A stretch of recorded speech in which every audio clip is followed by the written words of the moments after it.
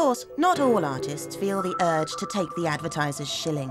To this day, really, there is the great dichotomy, I suppose, between the ads and the ads not. There are certain bands who almost, you know, by the very nature of who they are, just can't do ads. It would blow their identity. The fact that you have bands like Coldplay, Radiohead not allowing their music on adverts, their music gets heard anyway on numerous TV shows all the time. And the till rings every time that happens. One of the saddest stories of artists refusing is the poor old Verve, who uh, released their, their biggest hit, Bittersweet Symphony.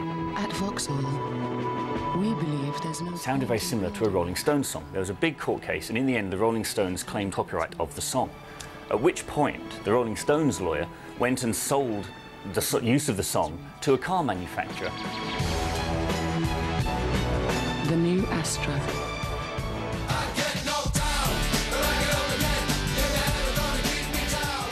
But one band has taken an anti-ad stance which confuses everyone.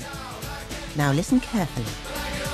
There was a huge, huge, huge amount of um, interest in using Tubthumping for adverts. We were offered money by Ford. We actually thought, look, it's churlish. If we turn this money down, somebody else will say yes to it. And wouldn't it be better to take the advert but get in touch with people who were actually working against Ford. So we got in touch with Corporate Watch in America who were doing a campaign against Ford at that point and said, if you say yeah, then, you know, we'll do business with them and you can have the money.